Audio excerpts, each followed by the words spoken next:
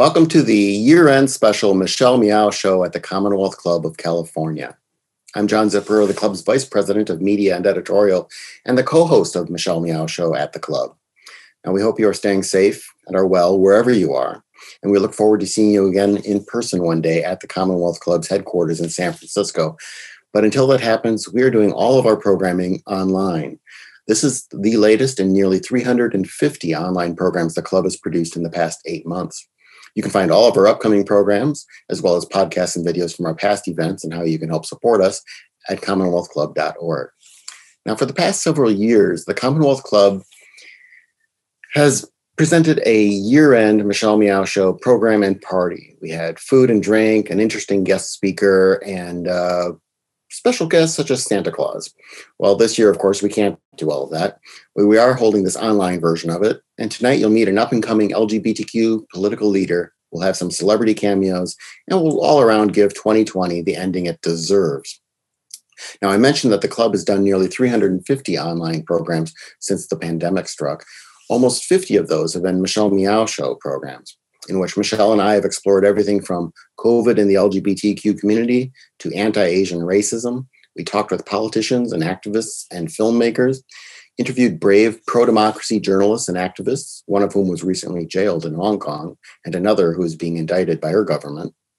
We held a series of programs with San Francisco Pride, and we made history by hosting the live streaming of Global Pride, a worldwide celebration of LGBT people and issues that attracted an audience of 57 million people. And all that was done in a year of a horrible pandemic, economic crisis, vitriolic presidential campaign, and countless protests and counter protests over racial injustice. So we're glad you made it through this year with us. And we're glad you're joining us here tonight for this celebration. Let's start it by seeing some famous faces and some worldwide impact. The Commonwealth Club is a San Francisco treasure. It's the preeminent institution that embodies the essence of everything that makes the Bay Area special. We value everyone's opinion, uh, we value the truth, we value the process of exchanging viewpoints, we value learning. And at a time when social discourse seems completely fractured, the Commonwealth Club remains more important than ever in doing what it's always done and what it's always been a San Francisco institution. Hey there, I'm Adam Rippon, Winter Olympic medalist, media extraordinaire, author, and it was so great to join Michelle Meow and John at the club to discuss my memoir, Beautiful on the Outside. The work of the club is so important, especially during these times when free speech is being abused or even used as hate speech. We all know exactly what it's like to have someone spread lies and misinformation as a way to oppress. And there's no room for that now and in the future. We have to stand up for one another. We need to create opportunities for understanding, for information, and for acceptance. Keep up the great work of the Commonwealth Club of California, and I hope all of you continue your support of the club. Welcome to Global Pride. I'm Todrick Hall. Global Pride is a historic pride event that gives us the ability, the energy, and the excitement to celebrate each other and ourselves. Pride is and always has been a resistance. While we are decades removed from the Stonewall riots, we still have so much farther to go. We have overcome so much. There is so much to celebrate in that regard. Our present, we must remember to use our voices to demand justice and equality for everybody. Our society needs to look at diversity with a lens of intersectionality. When we stand in solidarity with one another, when we stand up for one another, that there's nothing that we can't accomplish. We stand united on a global stage. We create space to advocate, educate, and celebrate. Pride isn't just about the party, it's about the people. It's about the youth in our community, our seniors, trans and gender non-conforming friends and neighbors, people of color, the disabled, immunocompromised, the homeless, our veterans, and those raising families. We are all on this road together. Happy Pride.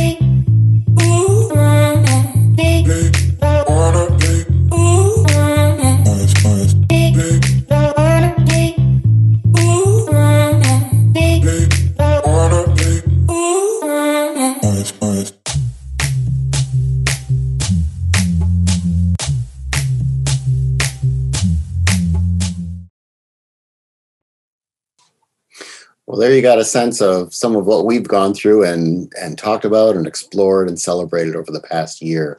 We want to thank everyone who supported the Michelle Meow Show this past year, all of you who watched or listened to it, who shared our stories and our videos and our, our podcasts on social media, everyone who was a guest on the program, and everyone who contacted us with ideas and feedback, and of course, everyone who provided the financial support to put together this ambitious slate of online programming.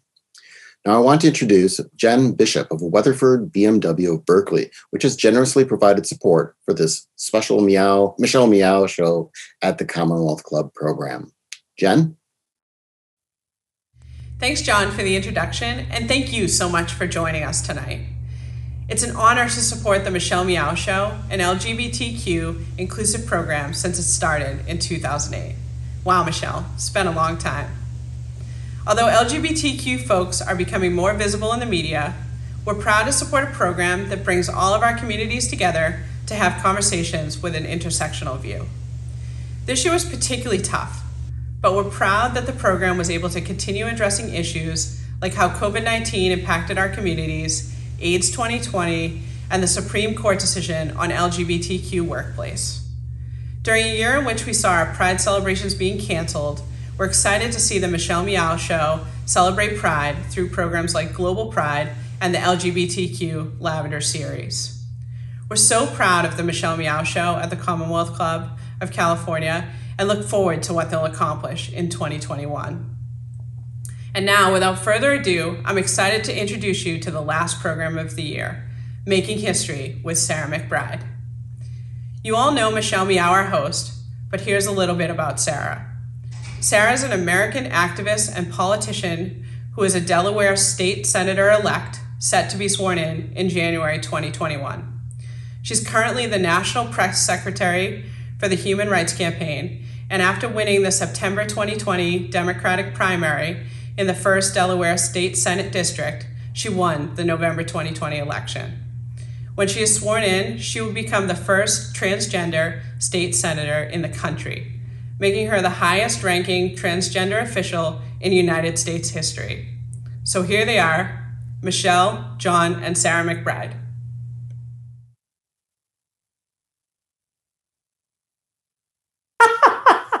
I'm filled with so many emotions. Gosh, wow.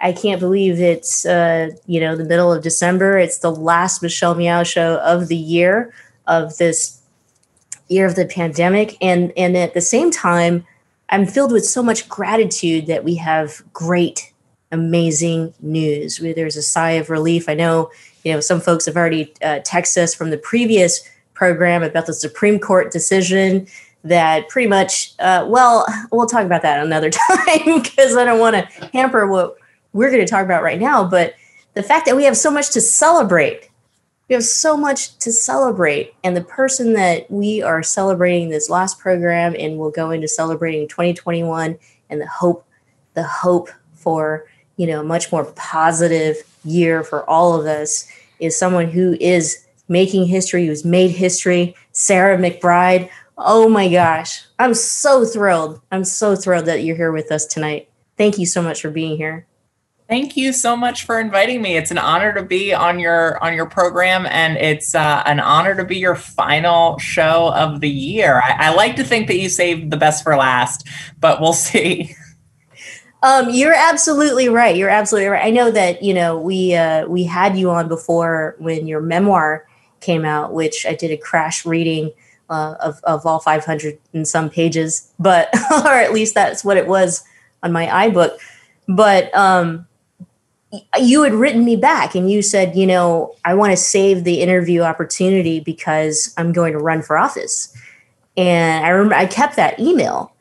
And then here you are, you know, you're here, you won your election. But it's not just that, you know, you're, you're, you won your election, as did, you know, President elect, uh, you know, Joe Biden and um, Vice President elect Kamala Harris. I mean, there's, there's a lot to celebrate but let's talk about you. Let's get to know you a little bit more.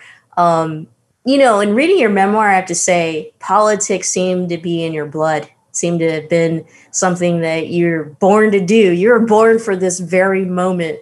So, why don't you tell us, you know, that moment in which you realized that you're you love politics, you're going to do it.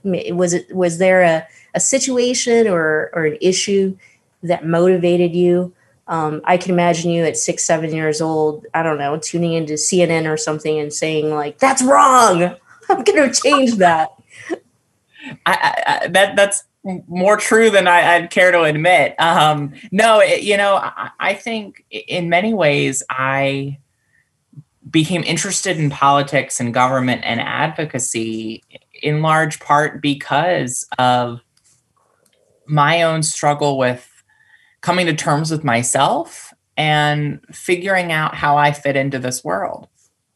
Because as I became aware of the fact that there was something about me that society didn't accept and and didn't include, that my gender identity was a, a, a barrier and a and a and a um, uh, a, a, a fact about me that many people held deep prejudices about as I became very aware of that very at a very young age, I, I also saw that politics seemed to be the place where you could make the most amount of change for the most number of people in the most number of ways possible. And that if perhaps I couldn't live authentically, maybe I could make my life worth living. Maybe I could heal the pain and fill the void in my life by making a difference in my community, by making a difference for other people, by making a world and building a world where other people could live their life authentically, fully, and freely. And so I got involved in politics in large part because of that. Reading the history books as a young kid, I was a voracious reader of history. I saw that every single chapter was about advocates, activists, everyday people, and yes, political leaders with the courage to act who through their persistence and and and political courage help to to deepen our understanding of we the people and expand the circle of opportunity. Um, and so I got involved and, and got hooked at a young age, but it also became very clear very quickly that as professionally fulfilling as it was to make a difference in my community at a, at a young age, that that professional fulfillment wouldn't fill the void in my life. And if anything, it only highlighted the incompleteness even more. We can get into that more. I, I would just sticking on the political side. There are a lot of different ways people go about getting into politics or preparing themselves for it. Some people become billionaire real estate developers. Um, but uh, obviously, you know, law school or, or, or training such. What was your path once you decided? Yes, this is the way I can make change and and such. What did you do then to go about realizing this? Well, well, I, I certainly didn't start a a billion dollar or probably more accurately million dollar uh, real estate um, you, know the great thing about where i live delaware um, the, the the home state of our future president um, is that it's a small state and it's very easy to get involved.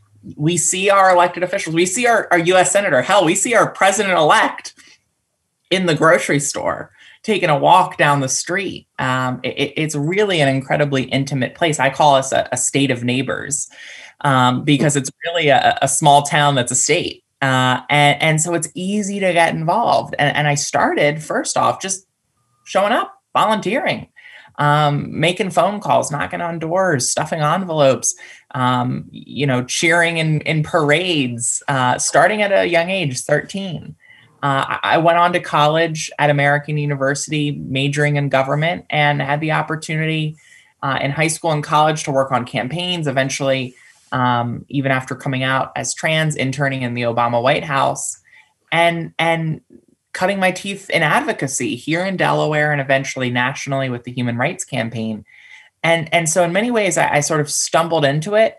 Um, in many ways, I just sort of showed up until someone you know gave me a task and then eventually i kept showing up and they'd give me you know more significant tasks and then eventually put me on payroll and then eventually you know i i i was introducing our future governor at political events. And so it, it was um sort of an organic journey um, and not a traditional one right? I, i'm i'm not an attorney i'm not a doctor i'm not a, a real estate developer. Um, but that's the beauty of Delaware politics is is you can get involved even at a young age as one person and really get to know your political leaders and have a real say in their campaigns and even in their uh, in their government service. Talk about you know who you know and and why you know relationships are so important. You just you just never know who they'll be in the future. Uh, the forward in your memoir is written by President-elect Joe Biden and um, it's so special. I mean, you know, here the president elect speaks about your coming out and goes back, you know, to talking about knowing you since 2006, and then even puts in the importance of of you coming out. I, I don't I don't recall ever that that has happened or that I've read about, you know, a situation like that that you know, somebody as high up as Joe Biden speak so openly and so so tenderly and caring about us in that way. Um, it, it, yeah, tell us, you know, just how you got connected with the Biden family. I know it as I read about it, but you tell the story better. Well, you know, it's it, Delaware's, like I said, a small state, and the the saying goes here: everyone's dated, mated, or related, um, and we are all related to Joe Biden one way or another. Um, we're all part of the Biden family here in Delaware. Um, you know, I, I think anyone who grew up long known that that Joe Biden um, is a, a decent, generous, compassionate person, and had what it took to go all the way to become president of the United States. Um, so growing up as a kid, you know, I, I remember again as a small state, this this this larger than life figure, Joe Biden, who who was on the national stage, and there was this presidential buzz. Um, I, I remember when I was about 12, 11 or 12, I was at a, a, pizza shop in the district I now represent, just a couple blocks from where I grew up and just a couple blocks from where I am right now um, having dinner with my parents, and and in walks Jill Biden and sits at the, the pizza table right next to us, and then in, in walks Joe Biden, and uh, me as an 11 year old kid who's just you know getting interested in politics and turning on CNN and screaming at the TV, like you mentioned. it was a huge deal to be able to see to be able to see him in the flesh, and he could see that I was so excited that he was there, and and and he came over and and put down his briefcase and leaned down and, and talked to me eye level uh, and and you know asked about me and asked about what my interests were and then ripped a page out of his schedule and and wrote probably what he wrote to every single young person he met. Remember me when you're president joe biden. And um and, and it was one of my prized possessions but then i didn't really get to know the biden family super well until like you mentioned 2006 when I went to work for his son Beau on his campaign for attorney general. And and similar to Vice President elect Harris, I really got to know Joe Biden through the eyes of Beau. And you know, the the the the relationship between Joe and Beau was so deep and so profound. It was exactly how, you know, sometimes this this mythology develops in in in in the national coverage of these figures and it's it's it's almost you know overwrought and over the top but it's all true about joe and beau.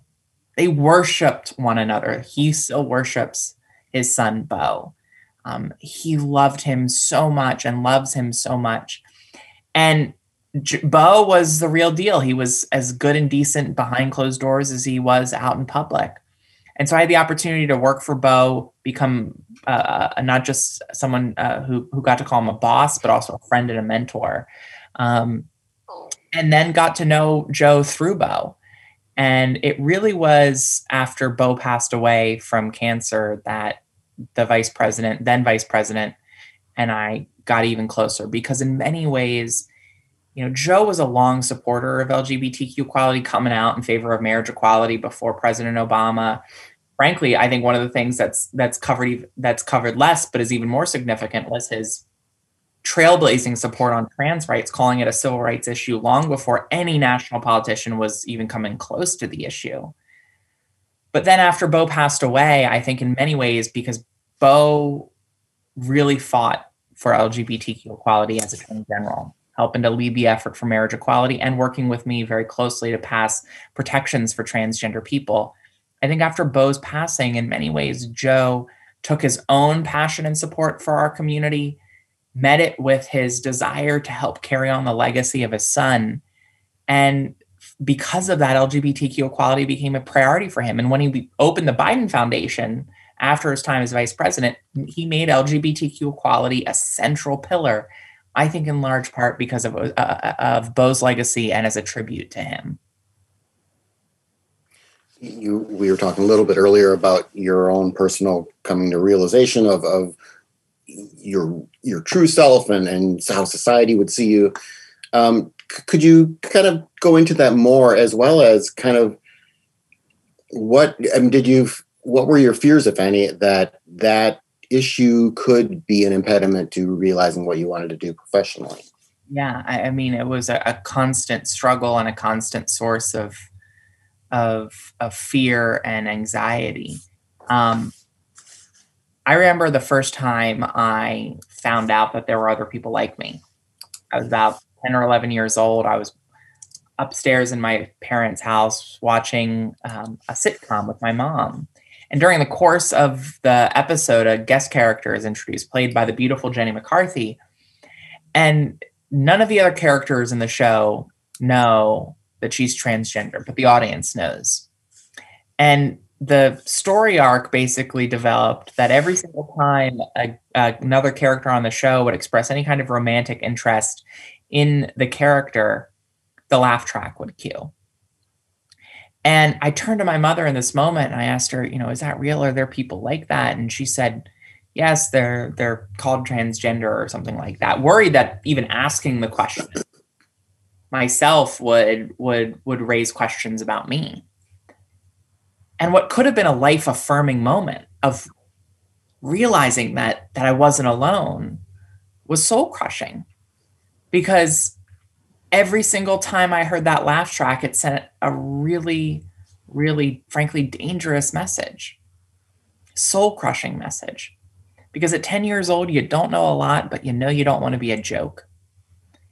And so I think about how different my life could have been if that first exposure to a trans person had been an affirming, celebratory um, storyline, the kinds that we're seeing more and more of now, fortunately, in, in art and entertainment.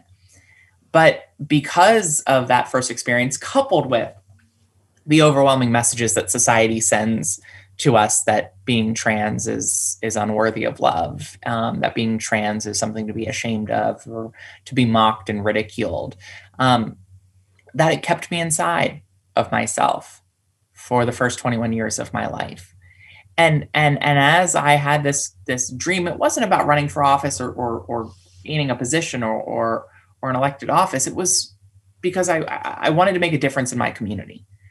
And it seemed impossible to me growing up that i could have a seat at any table and make a difference in my community if i was also out as trans. And it was abundantly clear to me that my dreams and my identity were mutually exclusive. At least it seemed at that. And so that that that fear that I couldn't be out and and love and be loved, that I couldn't live in a community that I loved, and that I couldn't do the work that I love. That kept me inside of myself until eventually I was at college, like so many. Uh, when they're at college, they go through that period of self discovery. I was student body president at American University, and I was working on a whole host of issues I cared about from LGBTQ equality to accessibility for students with disability to empowering students of every economic background to be able to pursue opportunity. Um, it was in that experience realizing that it was professionally fulfilling, but it did not heal the pain. And again, if anything, only highlighted that incongruence that I finally gained the courage, the confidence, and the insights to come out to my family. Um, and I and I did so, sitting in this sitting in this room with uh, the Christmas tree behind me. I came out uh, on Christmas Day in 2011 to my family, and and it was a challenging okay. conversation. But my parents made clear from the start that they loved me and supported me.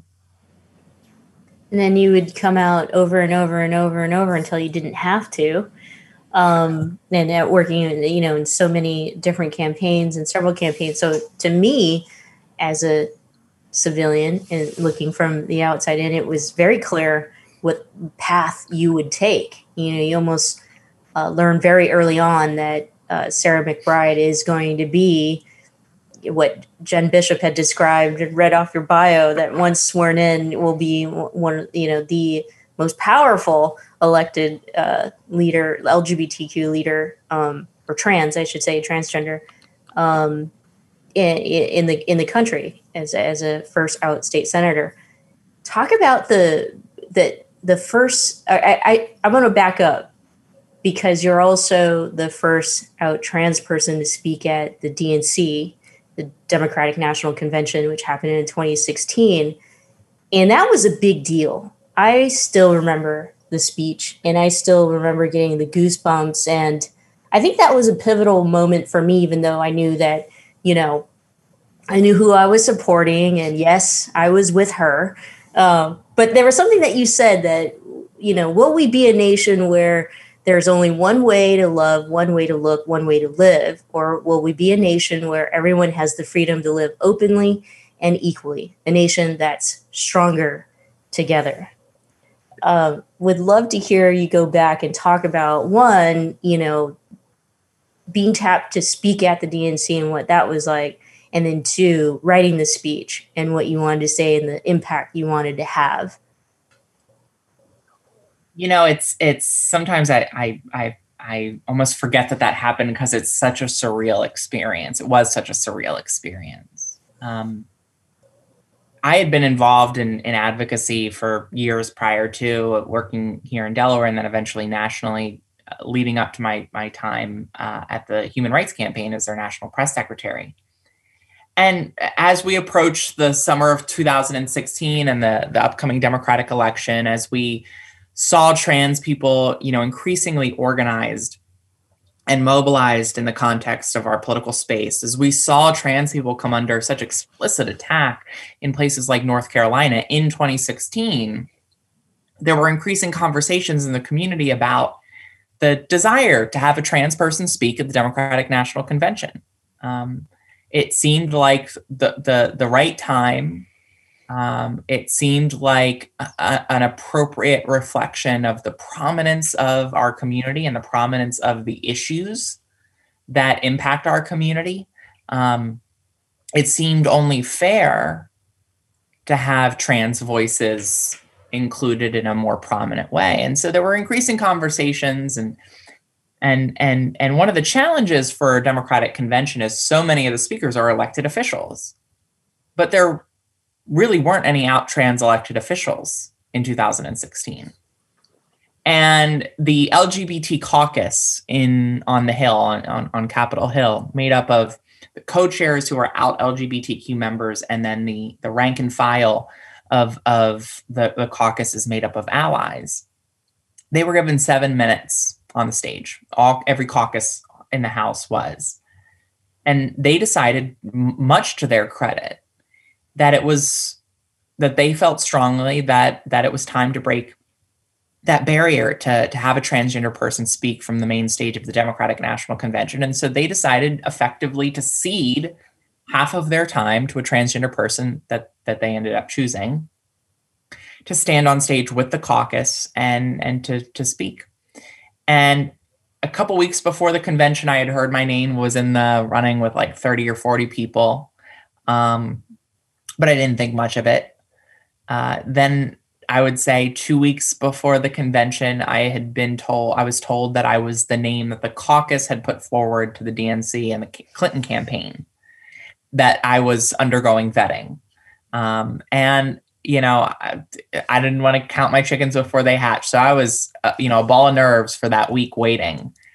And then a week before, just a couple days before the convention, I got a message from the campaign that I was, I passed vetting and that I would be the, the person who would speak. Um, and I didn't realize at that moment what it would be. I, I, had gotten used to seeing how eager Democrats were to work on trans rights on the Hill. So I had sort of seen very clearly the party embrace our cause.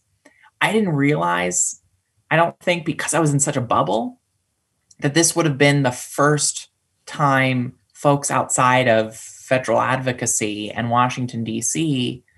were seeing the Democratic Party so clearly embrace trans rights as a cause that they are fighting for and our dignity uh, as as part of our movement and and the movement um, for progressive goals.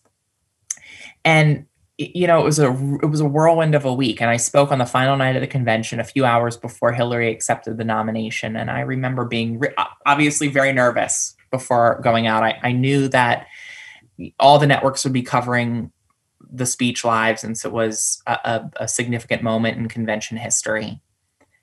And right before I go on, the person says to me, "Now listen, the arena is full of people. We're in the Wells Fargo arena. We're you know huge arena, tens of thousands of people.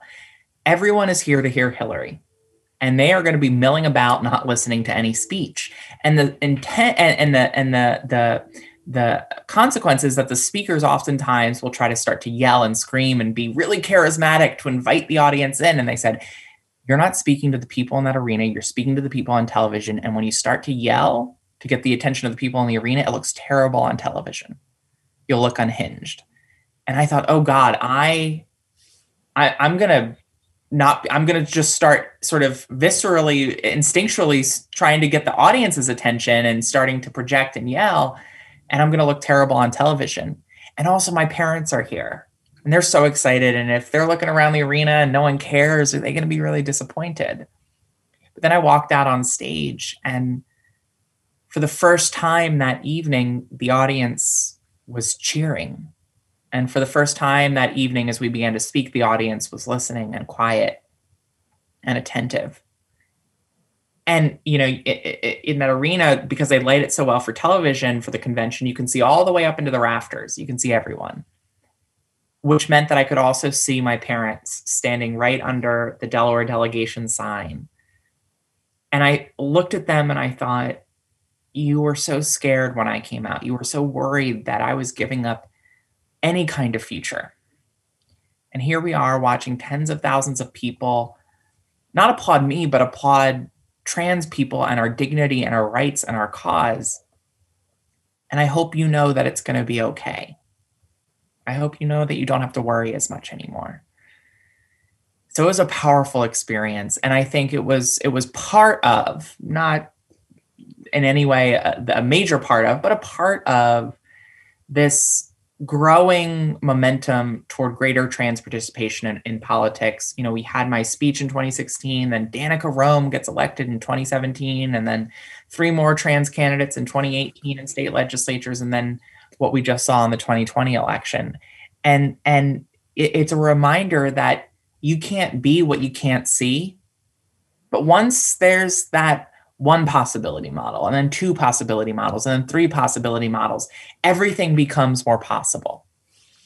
And and and and eventually that progress becomes a cascade.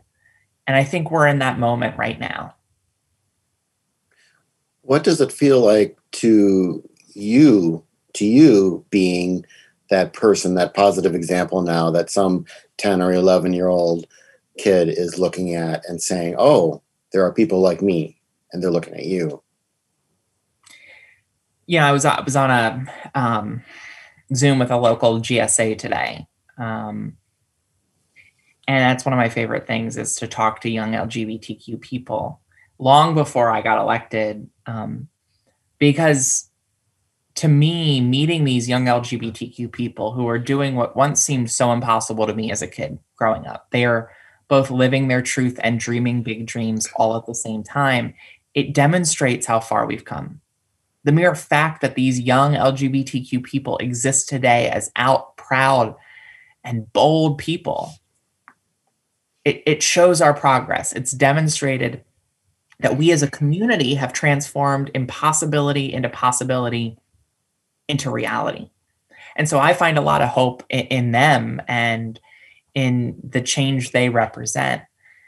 I also know how much of a difference it would have made for me as a kid to see someone like me get elected to public office.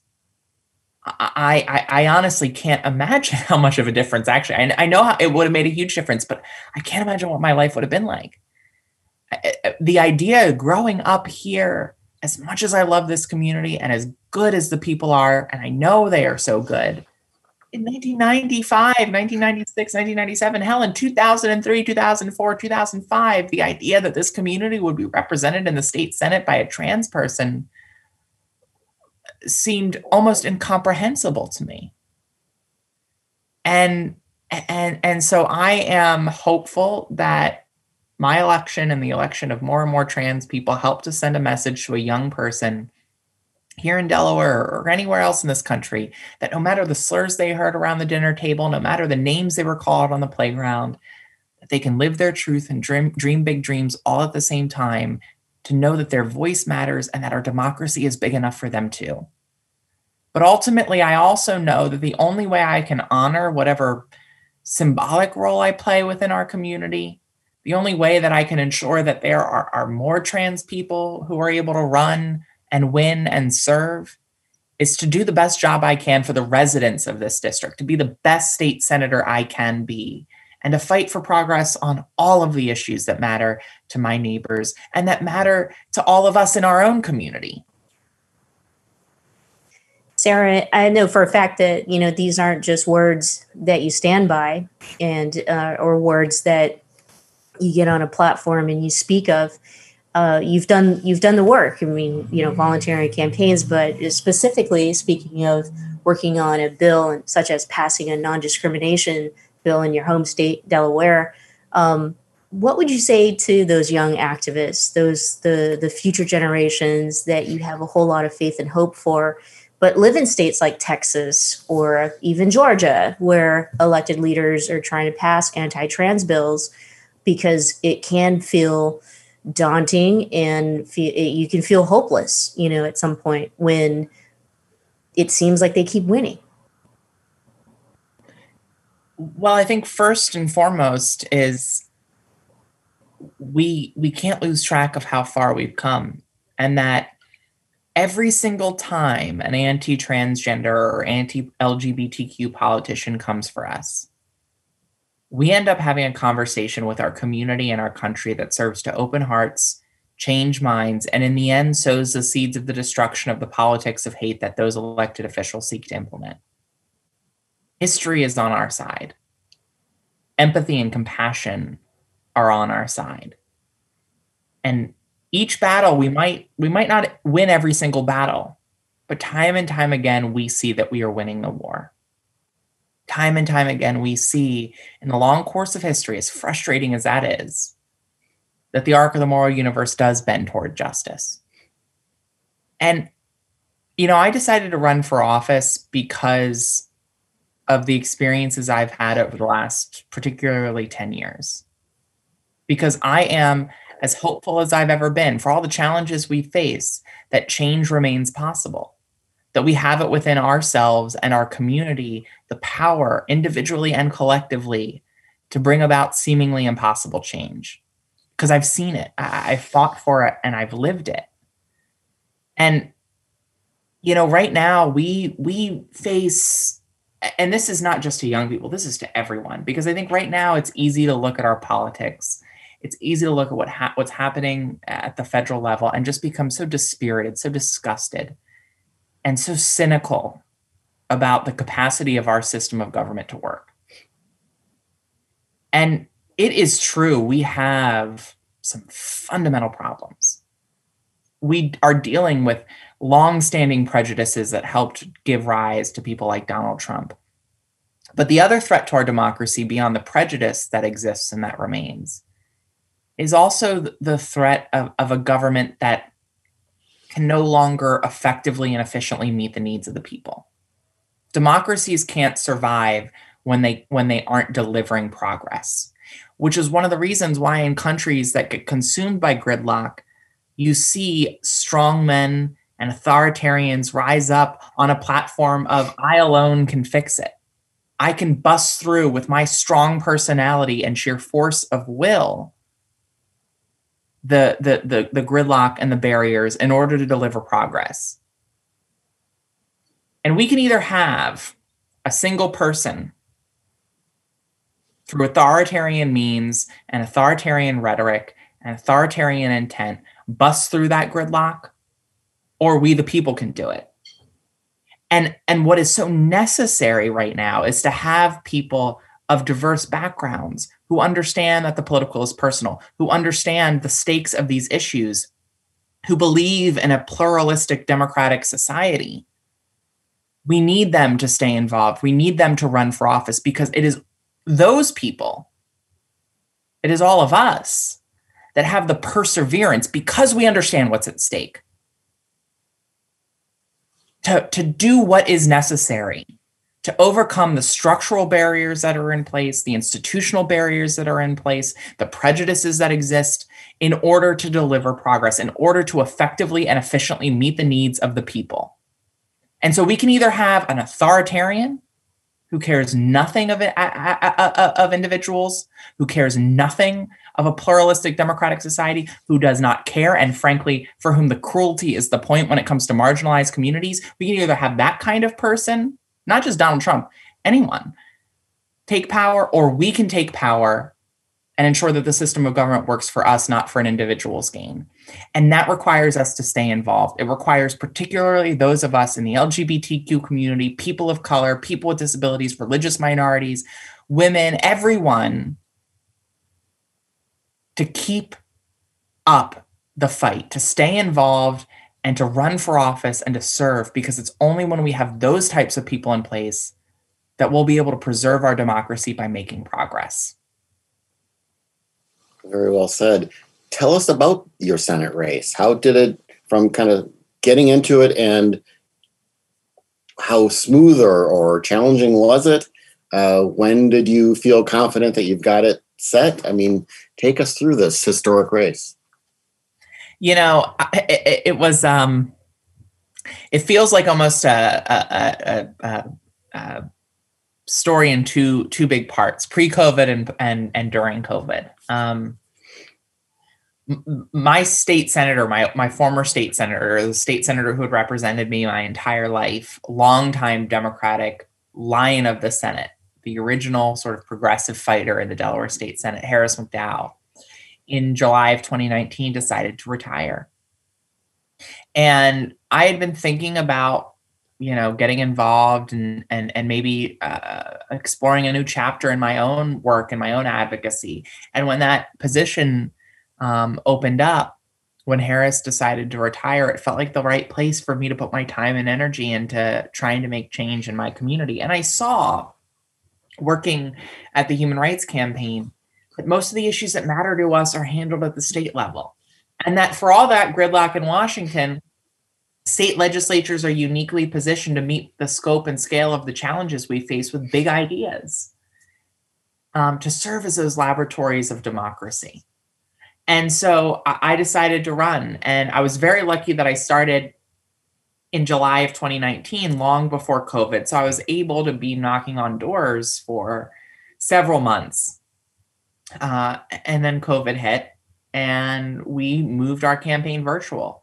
Delaware, since you know it's such a small state, our politics is really fueled by voter contact. Voters expect to meet you. They expect to have you knock on their door or talk to you. They want to understand who you are and what and why you're running, what you want to do, and why you want to do it. Um, it's a, a really beautiful process, but COVID obviously presented significant challenges.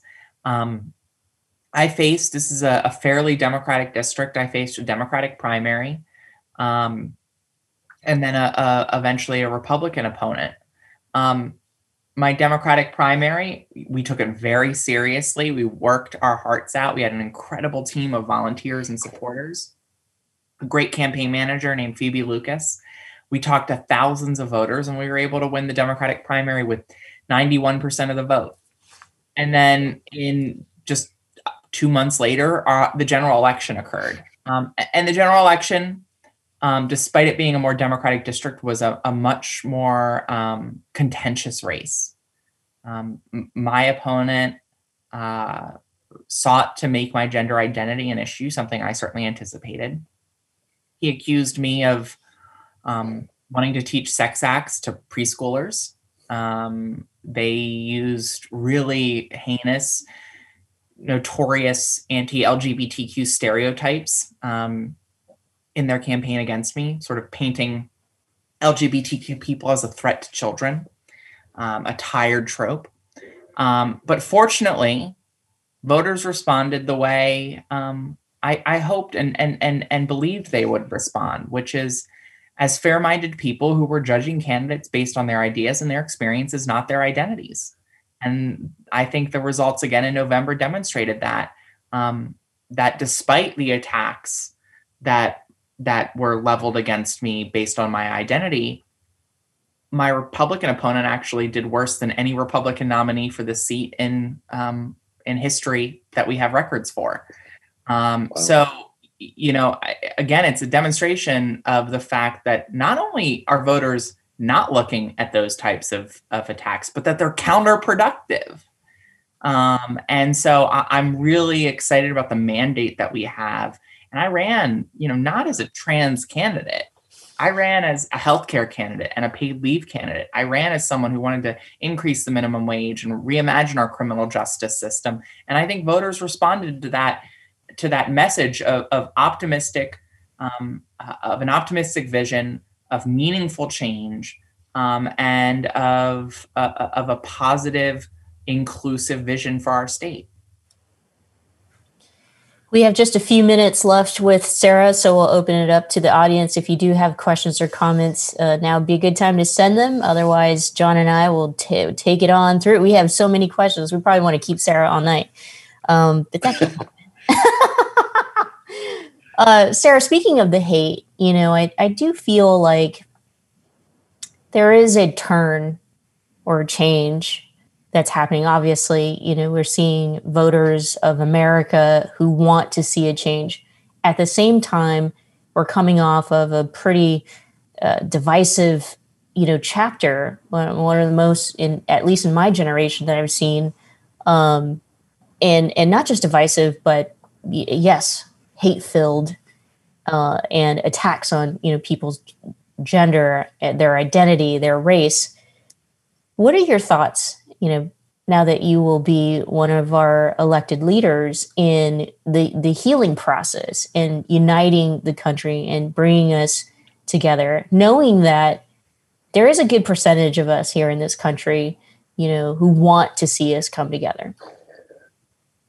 Yeah, you know, I, I think that it, it's such a good question because I do think that for as as real as the differences are politically, and ideolo- ideologically, the only path forward for all of us really has to include some degree of healing. And what I'm about to say is not a silver bullet, and it by no means will solve everything, but I do think it's part of the solution. Um, I think right now we have all done a poor job of seeing the pain of people who disagree with us. And I think sometimes we think that if we see that pain, we will validate their prejudice. But I don't think that that's true. I think we can hold those contradictory notions in ourselves and, and in our hands and, and still fight for justice for everyone and still see everyone's pain. That a person's pain can be very real, even if they hold positions that you find abhorrent. A person can be deserving of justice even if you disagree with them. Even if they do not believe that you are deserving of justice they can still be deserving of justice. In fact they are deserving of justice. And i think one of the things we tend to do right now is we tend to justify our own pain and and and convince one another of our own pain by diminishing the pain of the other And I think that that's true across the political divide. You see Democrats and, and folks who make up the Democratic coalition, myself included, sometimes saying, My pain's real, your pain isn't real, Republican voters. And Republican voters then then say as well, or say prior to, your pain isn't real, cosmopolitan urban elite. My pain is real. You have no idea what it's like to live in a post industrial town. And I think that when we do that, when we when we when we seek to validate our own pain by diminishing the experiences of others, we end up pushing each of us further into our respective corners. I know when I'm upset, the worst thing a person can do for me, and it's always well intentioned, is try to convince me why the person didn't actually mean what hurt me, why it's not as bad as I think. And, and it's always done with good intentions. They're always trying to make me feel better. But what ends up happening is I feel a, a, a very frustrating desire then to defend my pain and and in defending my pain i only get angrier and more frustrated. The first step in healing is always for someone else to validate your pain. And i think we all have to do a better job of validating each other's pain of seeing and hearing and feeling each other's pain and and not feeling the need to diminish someone else's pain because they're wrong or in order to make us feel like our pain is is real and to recognize that that pursuit for justice is not a transaction that it's an absolute moral imperative regardless of how imperfect the person who we're pursuing justice for may be. And frankly that's when it's most important. When we have every reason to not want to fight for justice for that person. That's when principles matter that's when you have to have the courage to act, is when you can have seemingly altruistic reasons to give up on them. And so I think I think all of us need to hold these deeply contradictory feelings within ourselves and understand that that we can have those feelings, we can understand that these things might not add up, but that doesn't mean that we shouldn't continue to fight for one another. And I think if we do that, we will start to heal and start to lay the foundation for us to come together. That's really interesting. I, I recall, you know, Bill Clinton's first presidential race, and he would often be talking to various voters around the country who were going through, you know, a, a deep recession at the time. And his line was, you know, I feel your pain. And I, th- I think there was often the uh, the assumption that that okay that's his political line but i mean what he was saying was i hear you. I, I am understanding that this is a real issue for you and uh, you know any trust you put in to me and voting for me is because you expect that i understand your pain and and and uh, what's hurting you. And i don't um, think it's required of elected officials. I think it's required of all of us as as as people. Yeah it's a difficult thing for a lot of us to keep in mind. I think, especially in the age of uh, you know daily Twitter outrage um, manufacturing. Um, so I wanted to ask about because you said earlier that you know the state governments are, are kind of this unique place to to address so many issues. Um, and one of our, our viewers asks about you know what are we going to do about homelessness? And how do you deal with you know taxes that are through the roof and all this stuff? And i want to kind of phrase because we could kind of go down a lot of different issues but i want to put this in the umbrella of i think a lot of local and state governments are really strapped and they're going to be strapped right now because of you know economic crisis the pandemic costs you know all that stuff. So maybe talk a bit about what either constraints or opportunities that you see that state government can do in dealing with some really serious issues like this in this time when they may not find you know either their own revenue coming in very well or maybe you know kind of chintzy help from the federal government. Yeah you're well you're absolutely right. And that's certainly as a incoming state legislate legislator one of the the challenges is you know the federal government is is is able to deficit spend um, and and states either can't or or are completely forbidden constitutionally from from doing so.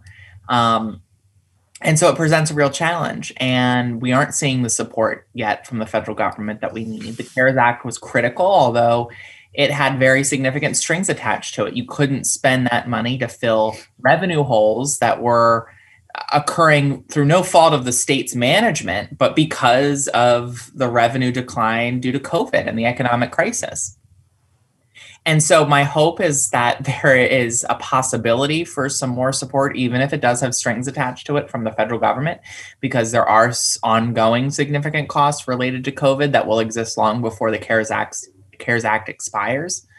Um, and my hope, though, is that a, a, a, a Joe Biden presidency, even if there's still a Republican Senate with a Democratic House, that maybe we could see a second round of stimulus that will help state governments face the, the financial toll that this crisis has taken on them, recognizing that we have both obligations that pre-existed COVID, obligations that are a direct result of COVID, and then frankly, obligations morally to meet this moment with significant action. Um, that to honor the lives that have been lost, the people who have lost loved ones and the people who have lost their jobs, we owe it to them to to tackle some of the intra- seemingly intractable issues that we have not yet tackled because it's always in moments of crises that we take our biggest steps forward. And it's always and it's in this moment where we're forced to reimagine so much that we are we are not fulfilling our duty to meet in in in, in meeting this moment of reimagination in our world if we don't also reimagine government policy. And so I, I, think we have this obligation on so many fronts to do more um, but at a time when we have less which is a challenge. Um, and, and so i think there's a couple things. One i think that there are without question what i call compassionate cost savings that states can can make um, there is significant reform to our criminal justice system that could free up much needed government funding for social safety net programs that we need. But we also uh, we also and we also know that while this is especially true at the federal level, this is also true at the state level. That with interest rates interest rates at historic lows, we should be borrowing in order to to put people back to work, especially when it comes to construction jobs. Um, and that if we then put people back to work, it will help increase revenue and give us the funds necessary to do other long term social safety net improvements and changes to improve our public education system, to bring down the cost of healthcare. Um, and so I, I think the challenges we're facing call on us to be creative, to make difficult decisions, but we can't use the revenue challenges we have as an excuse to just say, you know what, it's just too difficult. We can't meet this moment with with with real progress. I think if anything it it actually in, in many ways enhances our capacity to to to make some of the dis- difficult decisions that we should have made a long time ago. Um, and because of the crisis and people's deeper understanding of the need for instance of policies like paid family and medical leave which delaware has yet to pass to, to, to recognize that there is a unique moment here where the public understands how connected these issues are and how necessary these policies are for us to util, for us to, to, to, to harness that energy and support for those po- policies to actually implement them into law. Um, but it's going to take difficult choices. It's going to take us making those compassionate cost savings, particularly in the criminal justice system. Um, to, to free up some of the some of the funding that might be necessary for those initial investments.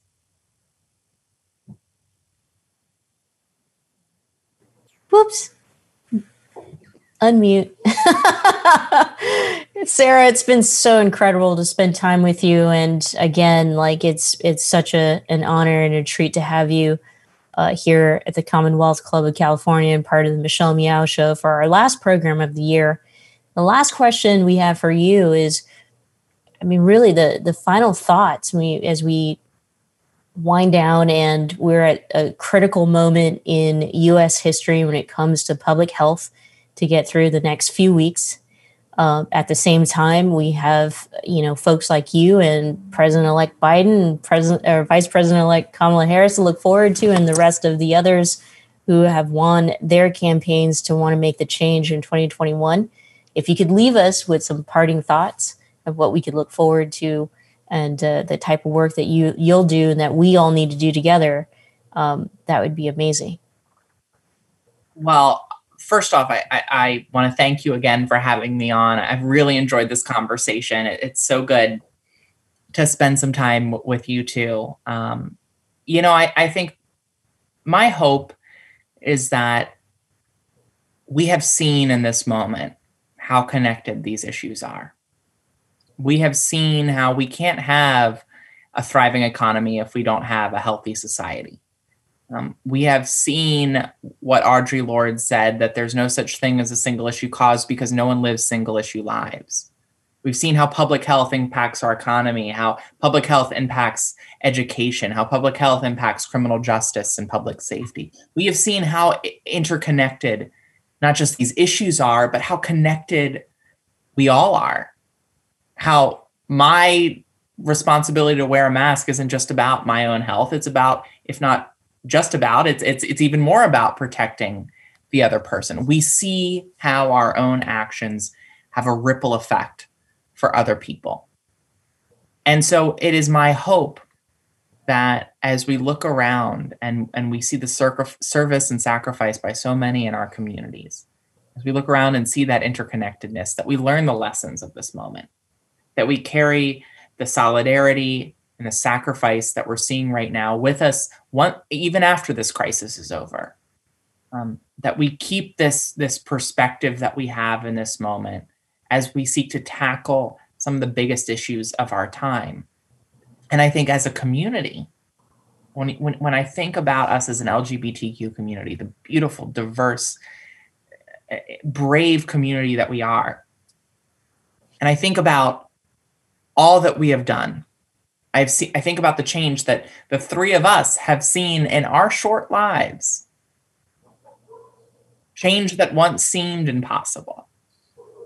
And as upsetting as sometimes the national news is, as as understandable as it is to get to get discouraged, when I reflect on that progress, when I reflect on how far we've come, I can't help feel can't help but feel hopeful about our capacity to meet these challenges, to bring about change. And I feel very strongly as a new elected official that in a position of public trust, I have a moral and sacred responsibility to do as much good as I can. And I hope all of us feel that in whatever role we play, that we all have a responsibility to do as much good for each other as we can. Sarah, thank you so much again. And thank you for your service and all that you've done for our community. And uh, I feel so blessed and so lucky to have you a part of our community. Um, and that is the LGBTQ community and all, and, you know, others. Um, happy holidays and thank you again. Thank you to you who've joined us tonight for our last program of 2020. But of course, there's more to come. And so I'll leave John with the last words. Well, I want to uh, also give my thanks to you, Sarah, and congratulations on your your election. Um, I know we're going to be hearing a lot from you in the future, so we look forward to having you on again in the future. Everyone else, happy holidays! Thank you for making it through this year.